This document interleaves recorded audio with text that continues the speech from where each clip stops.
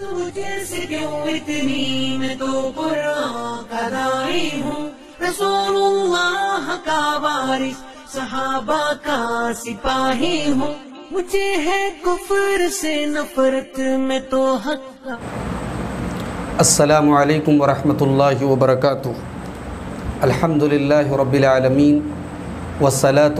अला सय्यिदिल वलमुरसलीन वअला आलिहि वसहबिहि अजमईन। वमन तबिअहुम बेहसान इला यौमिद्दीन अम्मा बाद मुअज़्ज़ज़ नाज़रीन हमारे एक भाई ने व्हाट्सएप पर एक वीडियो का लिंक भेजा और मुझसे कहा कि ज़रा सा आप इस वीडियो को देखें और इसका जायज़ा लें वो वीडियो जो है वो एक तकरीर थी जो लगभग 12 मिनट 18 सेकंड का वो वीडियो था और ऐसा मालूम हो रहा था वो किसी तवील तकरीर का एक हिस्सा है और वो जो 12 मिनट की क्लिप है, वो पाकिस्तान के देवबंदी मसलक के एक मशहूर आलम दीन मुफ्ती ज़रवली ख़ान साहब की तकरीर है। मुफ्ती ज़रवली ख़ान साहब ये देवबंदी मकतब फ़िक्र के एक बुज़ुर्ग आलिम दीन है पाकिस्तान के। ये वहाँ जहांगीरा एक जगह है, वहाँ के रहने वाले हैं और कराची के अंदर जामिया अहसनुलूम के नाम से इनका एक अदारा भी चलता है। वहाँ के बड़े में देवबंदी मसलक के इनका शुमार होता है। मुझे बहुत अफसोस हुआ कि एक ऐसे वक्त में जब मिलत का शराजा मुंतशिर है और उम्मत को इतिहाद की ज़रूरत है, उम्मत को एक दूसरे से जोड़ने की ज़रूरत है, एक ऐसे वक्त में मुफ्ती साहब ने ये तकरीर की है और 12 मिनट की इस तकरीर में उन्होंने जो बातें बयान की हैं, उन बातों का ना कोई सर है, ना पैर है। एक ज़िम्मेदार और एक बावकार और एक बुज़ुर्ग आलिम दीन से मुझे बिल्कुल ये तो नहीं थी। आइए देखते हैं मुफ्ती साहब ने अपनी इस तकरीर में कौन सी ऐसी बात कही है कि आज मुझे आपके सामने इस मौजू पर गुफ्तु करना पड़ रहा है।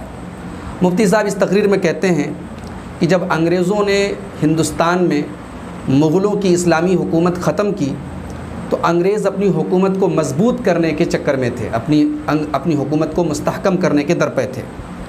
तो, तो अंग्रेज़ों को उनकी एजेंसियों ने ख़बर दी कि चूँकि आपने हुकूमत हनफियों से ली है हिंदुस्तान के सारे बादशाह हनफी थे तो पहला तरीका तो ये है अपनी हुकूमत मज़बूत करने का कि आप इन हनफी मुसलमानों में मजहबी इख्तलाफ पैदा कर दीजिए, इनकी मस्जिदों में इख्तलाफ पैदा कर दीजिए।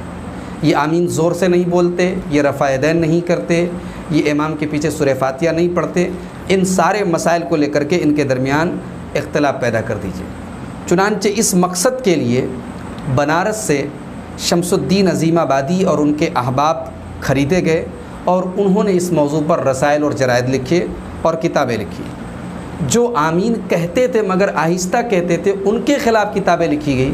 मगर जो सिरे से नमाज़ ही नहीं पढ़ते थे, उनके ख़िलाफ़ कोई किताबें नहीं लिखी गई। और अब झगड़ा खड़ा हो गया मुकलद और गैर मुकलद का। ये मुफ्ती साहब ने अपनी तकरीर में ये बात कही। हिंदुस्तान में अंग्रेज़ ने जब मुगलों की इस्लामी हुकूमत ख़त्म की तो अंग्रेज़ अपनी हुकूमत मुस्तहकम करने के दर पे थे। कि हमारी हुकूमत कैसे पक्की होगी? हर हुक्मरान को यह ख्याल होता है कि मेरी हुकूमत मज़बूत हो जाए। तो अंग्रेज़ को अपनी तमाम एजेंसियों ने यह रिपोर्ट दी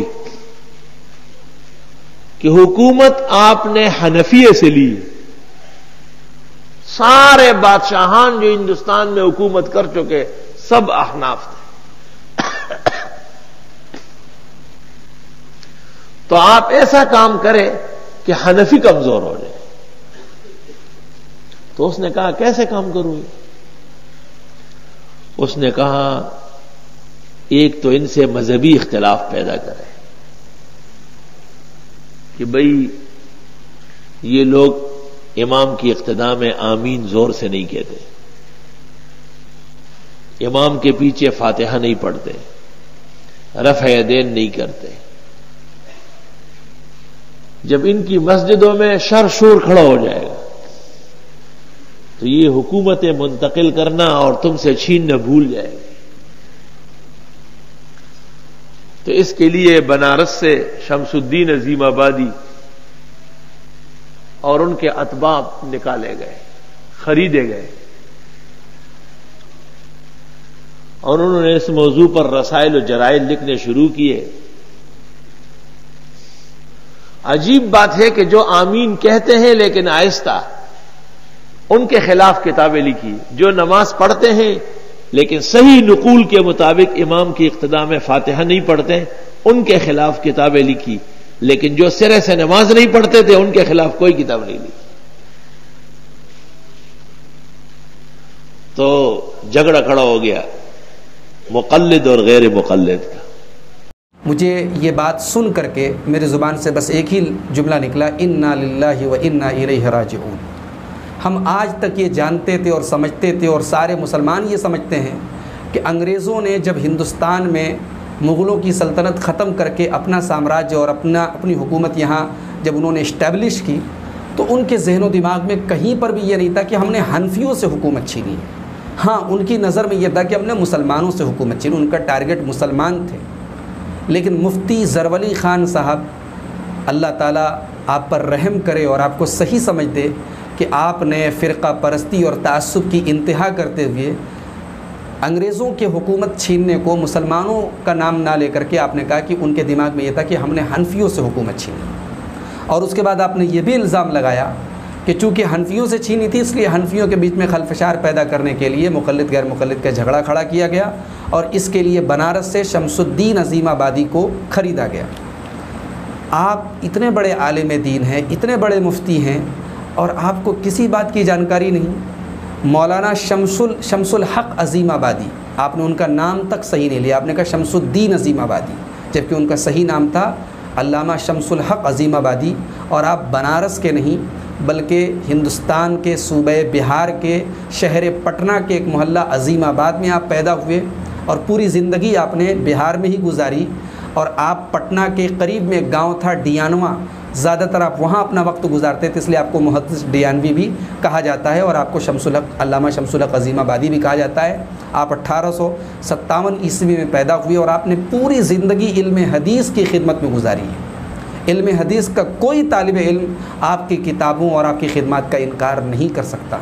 सोनन अबी दाऊद की आपने दो शुरुआत लिखी, एक मुख्तसर लिखी गायतुलमकसूद और एक तफसीली लिखी, जिसका नाम है अनमबूद और ये दोनों शुरुआत आज भी अबू दाऊद की सबसे मोतबर शुरुआत में से मानी जाती। आपने सोनन दारकुतनी जो हदीस की मशहूर किताब है, उसको सबसे पहले आपने हिंदुस्तान में छपवाया और अपनी शरह उसके पर शरह की और अपनी शरह करके नए सिरे से उसको हिंदुस्तान में सबसे पहली मरतबा आपने छपवाया। जिस आदमी की पूरी ज़िंदगी इल्म हदीस की खिदमत में गुजरी हो, आपने इतना घिनौना इल्ज़ाम उसके ऊपर लगाया कि अंग्रेज़ों ने उनको और उनके अहबाब को ख़रीदा और मुखलद और गैर मुखलद का झगड़ा खड़ा किया। मुफ्ती साहब, अल्लाह के वास्ते ऐसे झूठ अपनी आवाम के सामने, अपनी आवाम को खुश करने के लिए और फ़िरका परस्ती का जहर लोगों में भरने के लिए मत पैदा कीजिए। मैं मानता हूँ कि अंग्रेज़ों के ख़िलाफ़ जो लड़ाइयाँ लड़ी गई, जो जिद्दोजहद हुई, उसमें देवबंदी अलहमदिल्ला आगे आगे थे।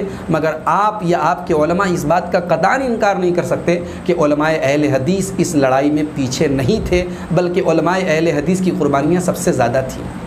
और इस इन कुर्बानियों का एतराफ़ मुस्लिम तो मुस्लिम, गैर मुस्लिम मर्रखीन ने किया है। हिंदुस्तान के पहले वज़ी अजम जवाहरलाल नेहरू ने इस बात का एतराफ़ किया है कि सादिकपुर जो पूरा का पूरा अहल हदीस घराना था, इस घराने ने हिंदुस्तान में अंग्रेज़ों के ख़िलाफ़ जो कुर्बानियाँ दी हैं, बाकी सारी कुर्बानियाँ एक तरफ़ हैं और इस खुंदा, इस ख़ानदान की कुर्बानी एक तरफ़ है।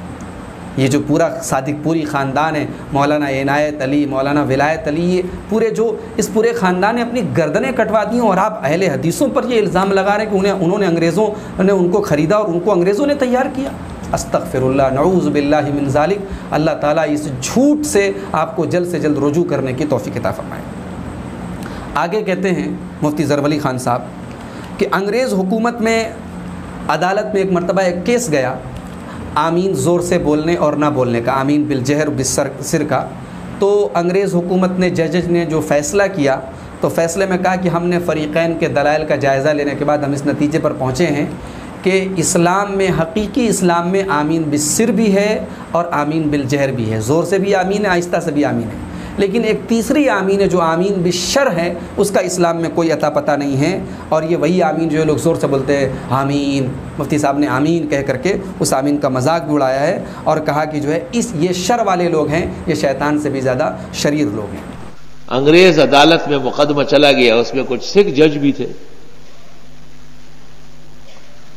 एक फरीक ने दलाइल दिए कि आमीन ज़ोर से कहना सुन्नत है, दूसरे फरीक ने दलाइल दिए कि आमीन आहिस्ता कहना सुन्नत है। आहिस्ता को सिर कहते हैं और ज़ोर से को जहर कहते हैं। जब दलाइल मुकम्मल हो गई और जजेस ने जजमेंट दी तो उस फैसले में यह लिखा कि मैंने, हमने, हमारे पंचायत ने और पूरे बेंच ने इस्लाम के दलाइल फरीकेन से सुन लिए। अब इस नतीजे पे पहुँचे कि हकीकी दीन इस्लाम में आमीन बिल जहर भी है और आमीन बिल सिर भी है। लेकिन झगड़ा आमीन बिल जहर और बिल सिर पर नहीं है, एक तीसरा आमीन है आमीन बिल शर। उस पर झगड़ा हो रहा है। उसकी कोई गुंजाइश इस्लाम में नहीं है। वो जो ज़ोर से आमीन, ये आमीन बे शर वाले हैं, अशर्रा, शर्र शैतान। अल्लाह ताला आप पर रहम करे मुफ्ती साहब। आमीन बिल जहर का आपने जिस तरीके से मज़ाक उड़ाया है और एक फ़र्ज़ी मुकदमा हिंदुस्तान में अंग्रेज़ों के दौर में बहुत सारे केस अदालतों में गए और क्यों गए उसकी वजह भी सुन लीजिए चूँकि हिंदुस्तान में मुकलदीन की अक्सरियत थी। उस माहौल में अगर कोई अल्लाह का बंदा तहकीक करने के बाद अगर वो आमीन ज़ोर से बोलने लगता था, उसको लोग मस्जिदों में मारते थे, पीटते थे, मस्जिदों से निकाल देते थे, बल्कि आमीन ज़ोर से बोलने और रफ़ादैन करने वालों को मस्जिद से निकालने पर फतवेबाजी तक की गई। तो उस मौके पर लोग अदालतों का सहारा लेते थे और अल्हम्दुलिल्लाह, अंग्रेज़ जितने भी गैर मुनसिब और जितने भी ालिम थे, लेकिन अदालत का एक सिस्टम बहरहाल उनके यहाँ भी था और बेशतर केसेस में अंग्रेज़ों ने जब दलाइल का जायज़ा लिया तो उन्होंने पूरी आज़ादी दी और कहा कि नहीं, इन अहल हदीसों को भी हनफी मस्जिदों में जा कर के आमीन ज़ोर से बोलने और रफ़ायदन करने की पूरी इजाज़त है। और आप जिस मुकदमे का ज़िक्र कर रहे हैं। पूरी तारीख़ में ऐसा कोई मुकदमा ज़िक्र नहीं है। ये आप अपना उल्लू सीधा कर रहे हैं। और आपने ज़ोर से आमीन का मज़ाक उड़ाया है और आपने कहा, ये शैतान, ये अशर्र मिन शैतान शैतान से भी बुरी, बुरे ये लोग हैं। अल्लाह आपके ऊपर रहम करे मुफ्ती साहब। आमीन ज़ोर से बोलना, ये हमारा सिर्फ़ मौक़ नहीं, ये सहाबा का मौक़ है, ये ताबीन का मौक़ है बड़े बड़े इम्मा का मौक़ है। सहाबा इस कदर ज़ोर से आमीन कहते थे, मस्जिदें गूंज जाती थी, दलाइल मौजूद हैं ने मोटी मोटी ज़ख़ीम किताबें लिखी हैं। आपका मौक़ अगर नहीं है, आपका मसलक नहीं है, ठीक है, आप अपने मसलक पर रहिए, मगर आप किसी के मसलक का इस तरीके से मज़ाक उड़ाएँ और फिर एक ऐसी सुन्नत का मज़ाक उड़ाएँ जो सही हदीसों से साबित है। एक आलिम दीन को और एक मुफ्ती को कतान ये बात जेब नहीं देती। उसके बाद मुफ्ती साहब कहते हैं कि मसला शाफ़ी और हम्बल से नहीं है। ये तो एक घर के चार अफराद हैं, आपस में जैसे एक घर में इख्तलाफात हो जाते हैं, इनके दरमियान भी इख्तलाफात हैं। ये जो पराया आदमी आया हुआ इशारा आपका अहल हदीसों की तरफ़ था, ये जो पराया गासिब आया हुआ है, इसने इख्तलाफ पैदा करके रखा है। तो मसला शाफी और हम्बल से इख्तलाफी नहीं है। दा सलूर वाला मज़हब सर यहूदी, और माँ उतापा के पैदा करो इख्तलाफ। वो तो एक घर के चार अफराद है। यह उसरत सालहा वो तो जैसे चचे और मामू का आपस में अख्तिलाफ होता है। ये जो पराया आदमी गासिब डाकू आया हुआ है, इसने एक नया तर्स का इख्तलाफ डाला है। और लोगों को इस्लाम से निकालना चाहते हैं मसाइल फ्रू से। तो एक तो ये जमात वजूद बहुत अफसोस की बात है मुफ्ती साहब। एक आदमी अगर सीने पर हाथ इसलिए बांधे क्योंकि इमाम शाफ़ी रहमत का मौक़ सीने पर हाथ बांधना तो आपकी नज़र में कोई हरज की बात नहीं है। लेकिन एक आदमी अगर इसलिए सीने पर हाथ बांधे कि रसूलुल्लाह सल्लल्लाहु अलैहि वसल्लम ने सीने पर हाथ बांधा तो आपकी नज़र में वो फसादी है, वो गासिब है, वो पराया है। एक आदमी अगर इमाम के पीछे सुर फातिया इसलिए पढ़े क्योंकि वो इमाम अहमद इबन हम्बल के मकतब फ़िक्र से ताल्लुक़ रखता है तो आपके नज़दीक काबिल कबूल है और एक घर का फ़र्द है। और अगर एक आदमी इसलिए आमीन ज़ोर से बोलता है और इसलिए रफ़ायदैन करता और इसलिए इमाम के पीछे सुर फातिया पढ़ता है, क्योंकि रसूलुल्लाह सल्लल्लाहु अलैहि वसल्लम से ये चीज़ें साबित हैं तो आपकी नज़र में वो फसादी है, कासिब है। अल्लाह के वास्ते ऐसा जुल्म ना करें, ऐसा जुल्म ना करें। आपके ओलमा ने और अकाबिर ओलमा ने ये तस्लीम किया है अपनी किताबों में कि इमाम अबू हनीफ़ा के दौर से और मुहदसिन के दौर से जो है अहल हदीस की फ़िक्र और एक मनहज मौजूद था। आगे आपने ये कहा कि ये जमात जो है वो अंग्रेज़ों के वजह से वजूद में आई है। अंग्रेज़ों से पहले पूरी दुनिया इस्लाम में जमात का कोई सबूत नहीं मिलता। बुखारी और मुस्लिम के जितने रिजाल हैं, वो सब किसी न किसी इमाम के मुकलद हैं। कोई मुसलमान गैर मुकलद हो ही नहीं सकता। अंग्रेज़ों की कोशिश से। इस जमात का अंग्रेज़ के हिंदुस्तान में आने से पहले पूरी दुनिया इस्लाम में कोई सबूत नहीं। कहीं भी नहीं।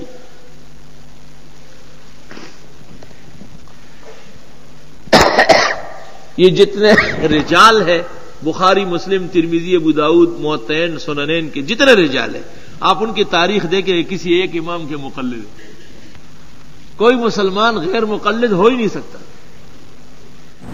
ये भी बहुत बड़ा झूठ है। आप मुहदसिन की सीरत उठा करके देखें, इमाम बुखारी की सीरत उठा के देखें, इमाम मुस्लिम की देखें, इमाम ज़्यादातर मुहदसिन मुजतहिद थे, किसी इमाम के मुकलद नहीं थे। और जो बाज़ मुहदसिन की तरफ़ ये नस्बत है कि वो शाफ़ी हैं, वो हम्बली हैं, वो नस्बत भी बहरहाल सिर्फ़ इसलिए है कि ज़्यादातर मसाइल में उन्होंने इमाम शाफ़ी के मौक़ को कबूल किया है, वरना वो अंधे मुकलद नहीं थे कि हर बात इमाम शाफ़ी की मान लें, हर बात इमाम अहमद इबन हम्बल की मान लें। और आपने जो ये बात कही कि सारी दुनिया में कोई गैर मुकलद नहीं था, ये भी बहुत बड़ा झूठ है। उलमा की और अइम्मा की एक बड़ी जमात ऐसी है जो मुकलद नहीं थी। और आप एक बात याद रखें कि अहल हदीस जो फ़िक्र है, जो मनहज है, जो मसलक है, जो मकतब फ़िक्र है, वो ये नहीं है कि बस आमीन ज़ोर से बोलो रफ़ायदैन करो और चंद जो है इम्तियाज़ी मसाइल का नाम है। अहल हदीस वो फ़िक्र है जो सहाबा के दौर में और ताबेन के दौर में थी कि जब नस सामने आ जाए, जब कुरान सुन्नत सामने आ जाए तो फिर क़यास नहीं चलेगा, फिर किसी का इश्तहाद नहीं चलेगा। किसी के इश्तहाद और किसी के क़यास पर हदीस रसूल को फ़ौकियत दी जाएगी, ये मनहज ये उसूल, ये अहल हदीस का उसूल है। और अल्हम्दुलिल्लाह, ये अंग्रेज़ों से इसका कोई ताल्लुक़ नहीं, अंग्रेज़ों के काफ़ी पहले से ये फ़िक्र मौजूद है। आपने कहा कि अंग्रेज़ों के पहले कोई इस मसलक का कोई नामो निशान हिंदुस्तान में नहीं था, सफ़ेद झूठ है मुफ्ती जरवली खान साहब आपका। हिंदुस्तान में बेशुमार ओलमा इस फ़िक्र और इस मनहज से, इस फ़िक्र के अंग्रेज़ों के पहले ताल्लुक़ रखते थे। अलामा फ़ाखिर ज़ायर इलाहाबादी ये सन ग्यारह सौ चौंसठ हिजरी में इनकी वफ़ात हुई है। अहल हदीस के बड़े आलिम थे और आप अल्लामा अब्दुल हई रहमतुल्लाह अलैह की किताब नुज़तुल ख़वातिर के अंदर मुताला कर सकते हैं। उन्होंने साफ़ लिखा है कि ये अहल हदीस थे। उसके अलावा आप देखें, अल्लामा इब्न कसीर रहमतुल्लाह अलैह सात सौ साल पहले के हैं। अल्लामा इब्न कसीर रहमतुल्लाह अलैह अपनी तफसीर कुरान के अंदर सुर बनी इसराइल की आयत नंबर इकहत्तर, जो अल्लाह ताला ने फरमाया कि यो मनद उकुल्लासिम बे इमाम हिम क़्यामत के दिन हम तमाम लोगों को उनके इमाम के साथ बुलाएँगे। उस आयत की तफसीर में इमाम इबन कसीर रहमत नकल करते हैं, काला बाज़ुसलफ़ बाज़ सलफ़ का कौल है, हाजा अकबर शरफ़ हदीस, कि ये आयत करीमा असहाबुल हदीस की, अहलुल हदीस की सबसे बड़ी फ़जीलत की दलील है। तो आप बताइए कि यहाँ अहलुल हदीस से कौन लोग मुराद हैं?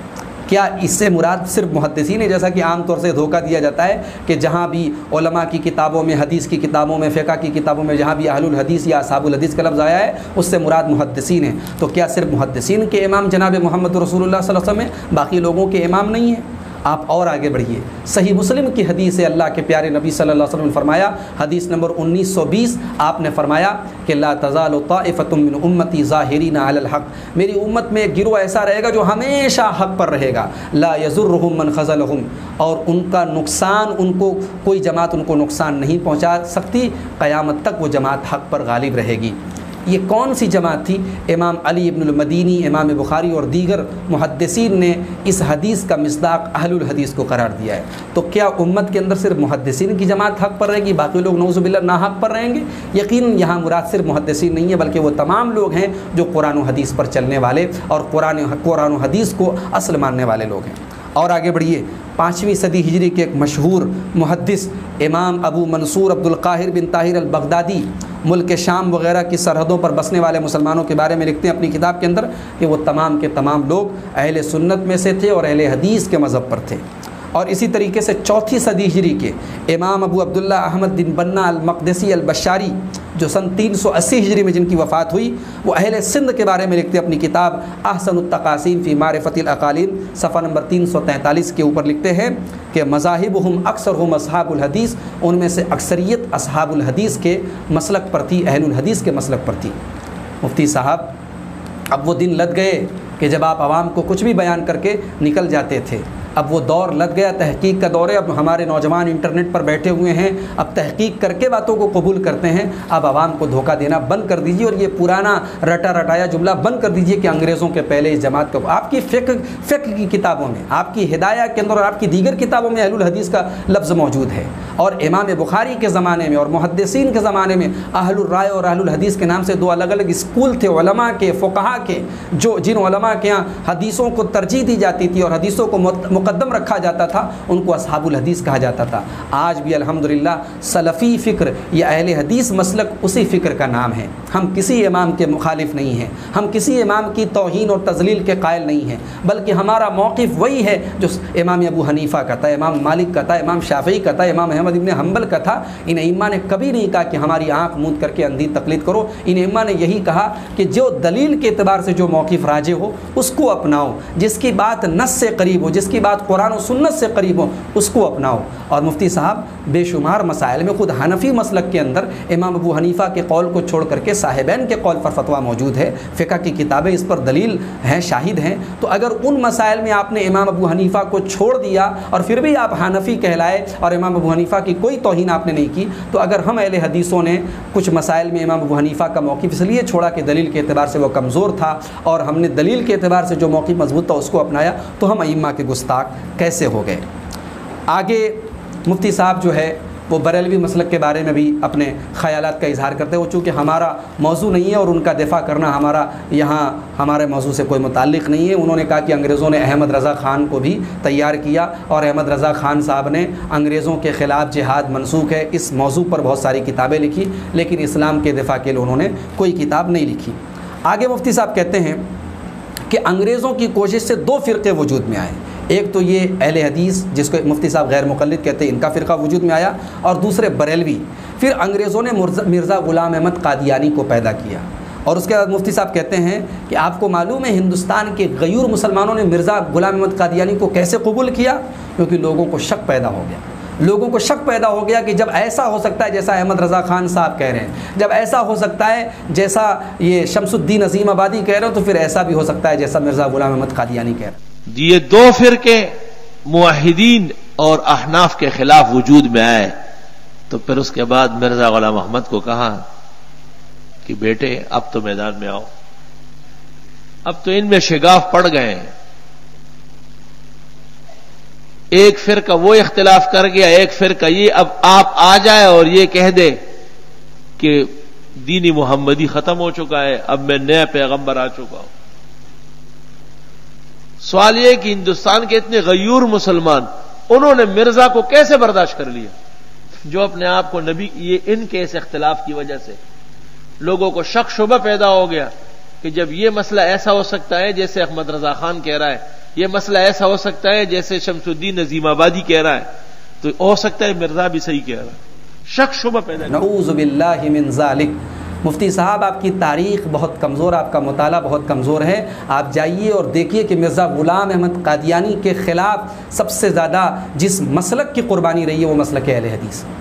मिर्ज़ा ग़ुलाम अहमद कादियानी के ख़िलाफ़ जिस मसलक ने लोहा लिया है और आखिर तक मिर्ज़ा ग़ुलाम अहमद कादियानी को जिस मसलक के ने चैन से रहने नहीं दिया है, वो मसलक अहल हदीस है। मौलाना मोहम्मद हुसैन बटालवी हैं शेख़ुलस्लाम सनाउल्ला अमरसरी हैं, मौलाना इब्राहिम मिर सयाल कूटी हैं, मौलाना अबुलकासिम सैब बनारसी हैं। ये हमारी जमात के सुरखील हैं, जिन्होंने कादियानियों के दाँत खट्टे कर दिए और ज़िंदगी भर उनसे मुनाजरा करते हैं और आपने जो ये कहा कि अंग्रेज़ों ने दो फ़िरक़े पैदा किए, इसलिए आवाम को शक पैदा हो गया। ये सब हवा हवाई बातें करना छोड़ दीजिए। अगर मसाइल में इख्तलाफ की वजह से उम्मत में शक है तो माफ़ कीजिए। जितना अम अरबा के दरमियान मसाइल में इख्तलाफ है, वो कम नहीं है।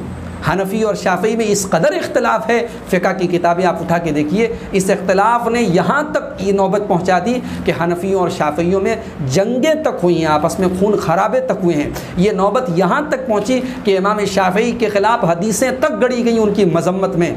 तकलीद ने इस नौबत तक लोगों को ले जा कर के पहुँचाया है। अल्हम्दुलिल्लाह, अहले हदीस इस नौबत से पाक हैं और इस इस तासब से बरी हैं। हम तमाम इम्मा का एहतराम करते हैं, लेकिन दलील की बुनियाद पर जो मौक़ राज होता है, हम उसको कबूल करते हैं। और अंग्रेज़ों के आने ना आने से हमारा कोई मकसद नहीं है। अंग्रेज़ों के काफ़ी पहले से हिंदुस्तान में और पूरी दुनिया में अल्हम्दुलिल्लाह ये मसलक मौजूद था, ये फ़िक्र मौजूद थी और ये वही फ़िक्र थी जो सहाबा ने दी, जो ताबईन ने दी, जो इमाम अबू हनीफ़ा ने दी, जो इमाम मालिक ने दी, जो इमाम शाफ़ी ने दी, जो इमाम अहमद इबन हम्बल ने दी, जो इमाम बुखारी ने दी। कि किसी भी इमाम की, किसी भी मुश्तहिद की अंधी तकलीद मत करो, बल्कि दीन के जो असल सरचश्मे हैं, वहाँ से दीन को अखज़ करो। मुफ्ती साहब, अगर आप लोगों का बस चलता तो हिंदुस्तान में हदीस की किताबें कोई पढ़ता नहीं। शाह मुहदस दहलवी रहमत ने जब सबसे पहला कुरान करीम का फ़ारसी में तर्जमा किया था तो उस ज़माने के दरबारी ने तरदीद की थी और इमाम साहब की मुखालफत की थी। ऐसा तकलीदी माहौल जो आपने कहा ना, हिंदुस्तान के सारे बादशाह हनफी थे तो उन बादशाहों के, उन हनफी बादशाहों ने ऐसा माहौल और उनके दरबारी उलमा ने ऐसा माहौल पैदा कर दिया था कि हदीस की किताबें पढ़ने वाला कोई नहीं था, कुरान पढ़ने वाला कोई नहीं था और फ़िका की किताबें और हनफी हनफी काजियों और हनफी मुफ्तियों के फ़तों पर ही पूरा हिंदुस्तान चलता था। लेकिन अल्लाह जजाय खैर देशा वलील्ला मुहदस दहलवी को इन्होंने इल्म हदीस की जोत रोशन की, इल्म हदीस की जोत जलाई और वहाँ से इल्म हदीस का जो सिलसिला हिंदुस्तान में शुरू हुआ तो बेशुमार लोगों ने इल्म हदीस को सीखा और पढ़ा और आप आप इस बात को फरामोश नहीं कर सकते कि हदीस की हदीस की किताबों को फैलाने में और उनकी नशर वशात में बेमिसाल कुर्बानियाँ रही हैं। नवाब सिद्दीक हसन खान रहमत ने